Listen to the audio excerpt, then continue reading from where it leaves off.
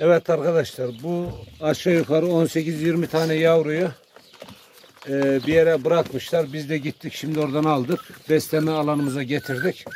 Burada zaten günlük besliyoruz. Sizlerden ricam bize 3-5 kilo demeden mama yardımınızda bulunmanız. Zaten bizim de mama borcumuz var aşağı yukarı 20-25 milyar. Allah rızası için mama verirseniz biz de bu canları besleyeceğiz. Ta gittim 30 kilometre ileriden aldım geldim bunları. Yaparsanız hayır Allah hayrınızı kabul etsin.